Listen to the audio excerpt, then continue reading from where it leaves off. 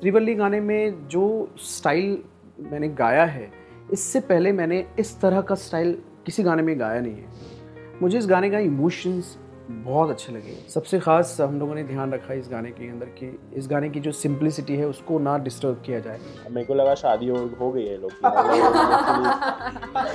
Javed sir मैं आपसे start करना चाहूँगी क्योंकि आपकी सुरीली आवाज़ से गाना सजा हुआ है हंजू। तो पहले तो मैं आपसे जानना चाहती हूँ ये हंजू है क्या? बिकॉज़ मैंने तो गाना सुन लिया ऑलरेडी बट रिलीज़ नहीं हुआ इसके लिए मैं आपसे जानना चाहती हूँ। गाना मुझे तो बहुत पसंद आया। हंजू बहुत ही यूनिक नेम है पंजाबी नाम है। हंजू का मतलब होता है आँसू।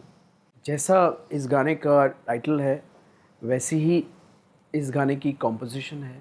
वैसा ही लिखा गया है एंड ऑफकोर्स वैसा ही पिक्चराइज किया गया है। तो सारी चीज़ें एक के साथ एक एक कहते हैं ना तार से तार जुड़ा हुआ है। तो आ, मुझे सबसे सबसे ख़ास बात इस गाने की जो लगी उस गाने का टाइटल जो है वो बहुत ही कमाल है। बहुत उतना ही खूबसूरत कंपोज किया गया है।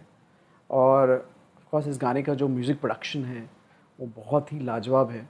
बहुत सिंपलिसिटी रखी गई है। जो इस गाने का जो टाइटल है वो जस्टिफाई करता है। जब आपके पास इस सॉन्ग के लिए आपको अप्रोच किया गया तो आपको जब आपने स्टोरी सुनी बिकॉज़ ये बहुत मैटर करता है कि हम जिस चीज़ के लिए काम कर रहे हैं उसका बैकग्राउंड देख ले पहले। तो आपको सबसे ज़्यादा अच्छा क्या लगा इस सॉन्ग के बारे में?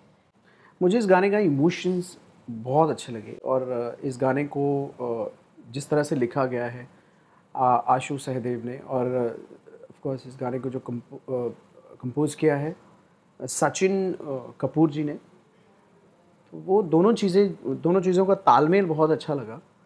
और ये गाना मुझे पैनोरमा म्यूज़िक से आया और मुझे तीन से चार ऑप्शंस भेजे गए कि ना, हम ये गाना, इन चारों गानों में से आपको कौन सा गाना अच्छा लगता है, आप बताइए।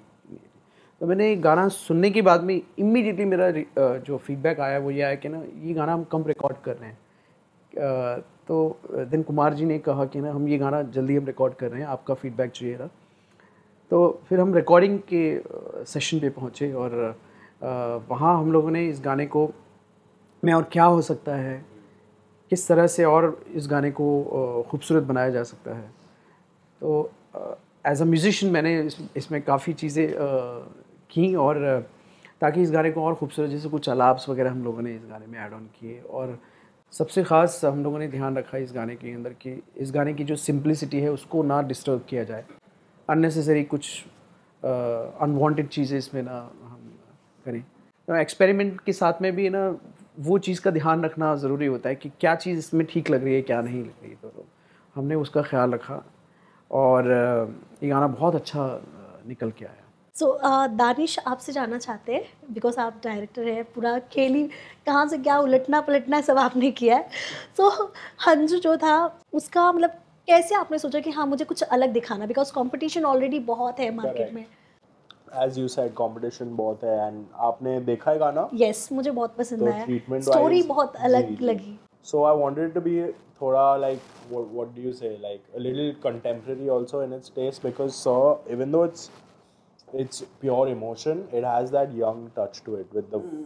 piano arrangements and everything. It's beautiful. So I treated it like this, like a small shot. आप देखो पैसेंजर प्रिंसेस आता है आजकल इंस्टाग्राम पे देखो सब रील में गर्लफ्रेंड चिपकाती है for example then my main to show it different was the one shots if you notice बीच से सीधा घर घर से अंदर फिर uh, एक one shot which they did very well was behind them when you go and they in the restaurant no scene restaurant scene they didn't have to like there was no CGI वो लोग ने खुद से ही मतलब they jumped into the frame and the camera and, and came back so I wanted to show a little difference because usually what happens sad songs there's emotion obviously girl crying boy crying and then audience is like 30 second बंद करके निकल जाते हैं something to hold them that's why if you see color भी change किया है warm cold warm cold that was the plan yes so जैसे कि आपने अभी बोला कि थर्टी सेकंड्स देख के निकल जाते जब मैंने वीडियो स्टार्ट किया ना तो मुझे भी वही लगा कि हाँ, हाँ। वही रोमांस फिर धोखा ये ये होने वाला बट मैंने बोला नहीं ऐसे नहीं जज कर सकते। सो मैंने वो पूरा देखा। बस मुझे होमवर्क भी करना था वरना आप लोग कहीं से क्रॉस क्वेश्चन कर देते तो। सो मैंने पूरा मैंने देखा तो मुझे वो काफ़ी अच्छा लगा। लाइक किसी के जहाँ अपने पार्टनर के जाने के बाद भी कोई इतना फ्लो में रहता याद करता मतलब बहुत मुश्किल होता होगा आई गेस सो इशिता आपने तो वो चीज़ प्रेजेंट करना था आपको। सो so, कितना मज़ा आया आपको काम करके? uh, बहुत मज़ा आया यार। Great team I had it that was the story board was Danish brain child तो when he told me and I specially asked am I sir it's not gonna be another heart break no I am not gonna be like breaking heart and walking away and every cursing me he sir no no no it's very sweet and you dying then I was like okay great I love this let's do it so yeah we all oh quite amped and kicked off doing it तो मज़ा आया करके okay. जैसा आपने देखा है। Okay so Priyank यहाँ नहीं है। हाय प्रियांक। यहाँ से हाय हेलो बोल देते हैं आपको। सो so, uh, प्रियांक के साथ आपकी जो केमिस्ट्री थी ना वो ऑन स्क्रीन बड़ी अच्छी लग रही थी बट हाँ ऑन स्क्रीन अच्छी दिखाने के लिए ऑफ़ स्क्रीन भी काफ़ी अच्छी बनानी पड़ती है उसके बाद ही हम सामने वैसा प्रेजेंट कर सकते सो so, कितना क्या आप पहले से जानते थे प्रियांक को? नहीं मैं प्रियांक को पहले दिन सेट पे ही मिली हूँ। And but very easy to work with is a very sweet boy and we had in between the shots we had little uh, we chatted a little. And uh, but i don't think so there was any hang up there was any anything. Yeah it was it was fun shoot because everybody was the energy was really good. Danish was quite chill. So it was yeah we all had a very smooth shoot. So so, Danish आपसे जानना चाहती हूँ प्रियांक और ऋषिता को एक साथ वो chemistry दिखाने के लिए आपको कितनी मेहनत करनी पड़ी? नॉट uh, मेरे को कुछ मेहनत नहीं करनी पड़ी क्योंकि ये लोग you know they are very seasoned actors the minute you say action मेरे को लगा शादी और हो गई है लोग की it was like that the minute you say control करना पड़ रहा है ज़्यादा ही but very they were very good like you could feel the love the chemistry आपने देखा होगा and the and Priyank and her emotion every time they are on screen together it was genuinely के असली में couple है। मतलब I didn't have to force और try anything so yeah yes, वो तो इजीली दिख सकता है। बिकॉज़ जितने फास्ट फॉरवर्ड हम लोग हो गए हैं आज की जनरेशन हाँ। उस हिसाब से आप लोगों ने सॉन्ग को काफ़ी स्मूथली बनाया कि मतलब देखते वक्त एक बोरियत भी नहीं हो क्योंकि इंसान को कोई चीज़ देखे तो वो एक फ़न होना चाहिए जो आप लोगों ने हाँ। पूरी कोशिश की है वो दिखाने में। बट सबकी अप, सबका अपना एक अलग टेस्ट होता है। बट जब मेरे जैसे इंसान को इतना अच्छा लग रहा है तो आई एम श्योर सभी को पसंद आने वाला है। सो so, सर मैं आपसे जानना चाहती हूँ मतलब इतने सालों से आप इस म्यूज़िक इंडस्ट्री में हैं इतने गाने बनाए आपने इनफैक्ट हमने इतना इन्जॉय किया आपके हर एक गाने मतलब आज तक मुझे नहीं लगता कि आपका कोई ऐसा गाना रहा है जो मुझे नहीं पसंद आया हो हर गाने पसंद आए। तो सर पहले के क्योंकि काफ़ी ये दस साल बारह साल से इंडस्ट्री अपनी काफ़ी आगे बढ़ चुकी है तो सर आपको क्या लगता है कि किस किस डायरेक्शन में जा रही है अपनी इंडस्ट्री और लोग लोगों का टेस्ट ही बदल जा रहा है? इतना ड्रास्टिंग चेंज आया है अभी म्यूज़िक में ऐसा नहीं रहा है कि अभी एक साल बाद चेंज होगा स्टाइल चेंज होगा। एवरी सिक्स मंथ आपको एक नया स्टाइल आ जाता है और एक नया स्टाइल नया साउंड्स आ जाते हैं। तो वो चेंज आया है। ऑफ़ कोर्स उसके अकॉर्डिंग आपको, अपने आप को ढालना होता है, आपको चलना होता है। तो मैं वही कोशिश में लगा रहता हूँ कि मैं सोचता रहता हूँ और मैं क्या नया कर सकता हूँ और क्या लोगों का टेस्ट है तो मैं और क्या ऐड ऑन कर सकता जैसे कि श्रीवल्ली गाना था। तो श्रीवल्ली गाने में जो स्टाइल मैंने गाया है, इससे पहले मैंने इस तरह का स्टाइल किसी गाने में गाया नहीं है। तो वहाँ से एक ना मेरा एक नया, एक कहते हैं ना, एक सफ़र स्टार्ट होता है तो एक नया सफ़र स्टार्ट तो फिर मैं उसको फॉलो करने लगा कि एस इस डायरेक्शन में चलते हैं। तो हंजू गाने में भी यही मैंने कोशिश की कि ना और क्या मैं नया कर सकता हूँ, आप देखेंगे। जिस तरह से ना वो जो मैंने अलाप्स भी गाया है तो वो ऐसा लगता है कि जैसे किसी को बुला रहे हैं, किसी को आवाज़ दे रहे हैं कॉल है उसके अंदर। तो ये चेंजेस एवरी टाइम आते जाते हैं। तो इसमें आर्टिस्ट को अपने आप को हमेशा एक अपग्रेड करते रहना पड़ता है। और आपकी अपनी पहचान नहीं खोनी है आपको साथ साथ वो भी इंपॉर्टेंट है। क्या ना, आप है ना, बह गए, एक एक समंदर चल रहा है और आप भी उसमें ही बहने लगे, वैसा नहीं होना चाहिए। आपकी पहचान रखते हुए आपको उस उसके साथ में रहना चाहिए।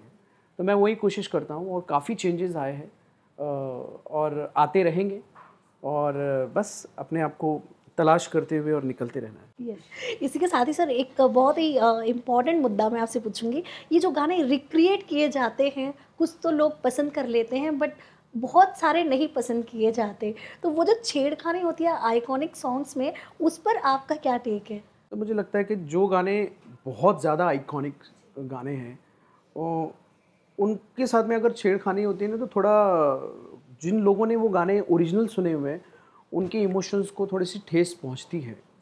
लेकिन जो नई जनरेशन है, जब ना नया साउंड आता है उस गाने के साथ साथ में, उनको एक नयापन लगता है उन चीज़ों में।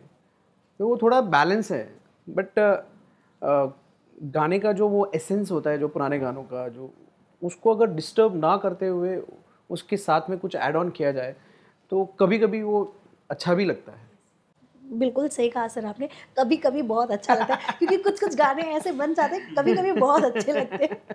सो so, दानिश आपसे जानना चाहती हूँ फिल्मी बैकग्राउंड से आप आते हो अजय सर जो है आपके मामा जी लगते हैं तो कभी ऐसा होता है क्योंकि हमारे घर अगर मैं अपनी बात करूँ हमारे घर में हमारे मामा बैठते हैं ना तो हम पूछते हमारी मम्मी को ये क्यों नहीं दिया था? हमारी मम्मी की शादी में। वो क्यों नहीं दिया था? तो आपके घर में ऐसा डिस्कशन होता है? तो आप लोग क्या डिस्कस करते हो? नहीं हम मोस्टली तो फिल्म्स ही डिस्कस करते हैं। वी लव वाचिंग फिल्म्स वो भी इफ़ यू सी वो film is is life cinema is is life he does it for the art of it तो फ्री भी होता है तो वीकेंड पे फ़िल्म चालू करके देखते हैं। ऐसे ही मस्ती नॉर्मल बट ये पूछना पूछा नहीं है कभी। ये पॉइंट अच्छा भी है।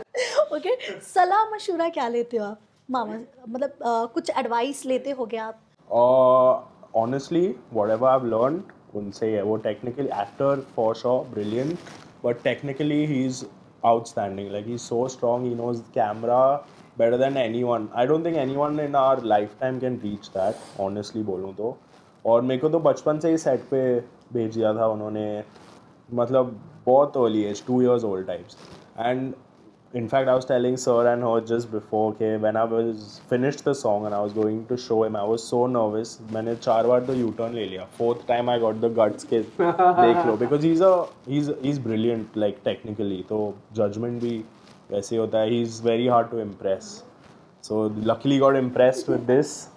So he's like so जैसे कि एक्चुअली माय मामा इज़ इनटू पॉलिटिक्स सो जब uh, कोई फेस्टिवल होता है या कुछ ऐसे इलेक्शन का होता है ना तो मेरे मामा के ना ऐसे बोर्ड्स लगे रहते हैं कहीं ना कहीं ऐसे। तो मतलब हम uh, मतलब अब तो नहीं होता ऐसे बट एक टाइम था कुछ पाँच छः साल पहले तो मैं ऐसे बोलती थी वो दिख रहे हैं? वो मेरे मामा है।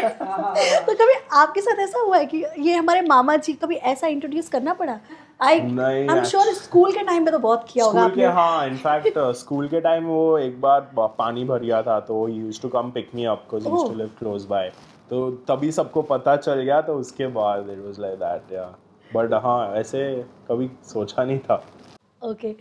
सो so, uh, बाकी अगर मैं आपकी बात करूँ तो आपको आपके मामा जी की कौन सी मूवीज़ पसंद है? या कभी आपने कोई गलती की हो? मामा ने कवर किया हो आपकी गलतियाँ? हाँ कवर तो करता है बट फिर बैंड बजाता है बाद में। ही एक्सप्लेन कि this was wrong but film talking about film I don't know my favourite film of his is once upon a time in Mumbai company Zakhm मतलब these film are outstanding Singham and all obviously Golmaal Singham means कभी mood खराब है तो चालू कर लो diet को क्या कुछ कोई शक मज़ा कर लो। हाँ तो वैसे है। But pure cinema wise once upon a time in mumbai and milan so as you know every dialogue imran hashmi everyone मतलब आप देखो ना एस एवरी सुल्तान मिर्ज़ा उसके बाद तो हर रिक्शे पे लग गया सुल्तान सुल्तान बहुत काफ़ी मतलब वो वो एटीट्यूड कैरी करना चाहते थे दैट वाज माय फेवरेट या यस सो इशिता आपकी बात करूँगी। आने वाले टाइम में क्या नए प्रोजेक्ट्स लेकर आ रहे हो आप? और किन के साथ काम करने की इच्छा है आपकी? आने वाले काम करने की इच्छा है पहले वो आंसर करती हूँ। So much I don't think so I even started and that's very sad because I been here for while and I have not gotten a chance to but they are so many great directors even the new one and it's not key कि I want to work with that legendary director आजकल even the new directors are coming with such great ideas and style of shoots and south इतना upcoming है so I want to I want to explore that cinema I want to मैंने in fact south में गाना भी किया, एक last year film आई थी छत्रपति. तो and I shot that song in Hyderabad so just the style of working is very different so I want to explore all of that so this not one person and मेरी एक film अभी year and में release होने वाली है. तो जब होगी आप सबको पता चल जाएगा. हाँ। सो so, uh, सर मैं आपकी बात करूँगी अब क्या नया लेकर आओगे सर? क्योंकि आप हर बार एक नए अंदाज में ही आते हो। सो so, अब क्या नया आने वाला है?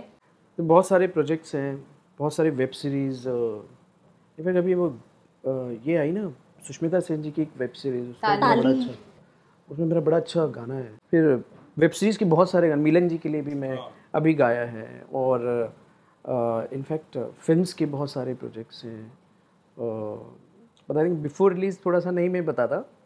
बट प्राइवेट काफ़ी प्रोजेक्ट्स उसमें से हंजू मेरा बहुत फेवरेट प्रोजेक्ट है।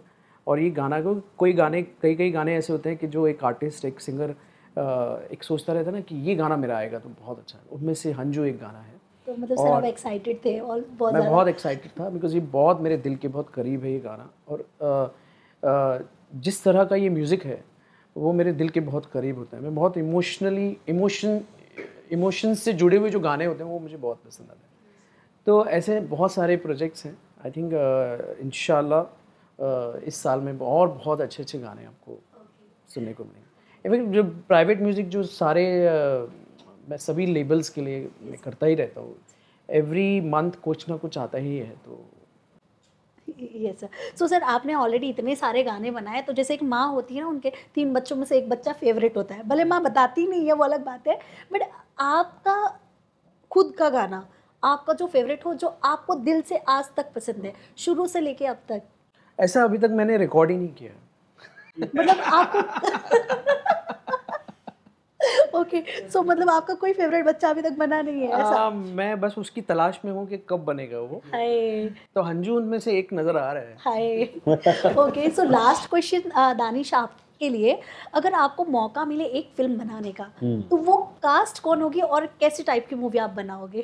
Cast yes so obviously Ajay Devgan. ओ मामा जी and yeah, yeah, and Ishita for sure, cause first is always. And singer? Sir, you only. Sir actually was in one of our other films, Bhola, right? He sang beautiful. So, Sir also, and first is always special, right? So obviously all of them, and I'm heavily into action films personally. And bachpan se unko dekha hai. My nana, my grandfather was an action director. So seeing everyone, then uh, it just comes naturally to me to shoot action.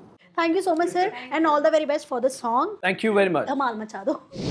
Hi, this is Ishita Raj. Hi, this is Javed Ali. Hi, this is Danish Devgan. And, and you're, you're watching, watching, us, us on, on Bollywood, Bollywood, Bollywood now. now.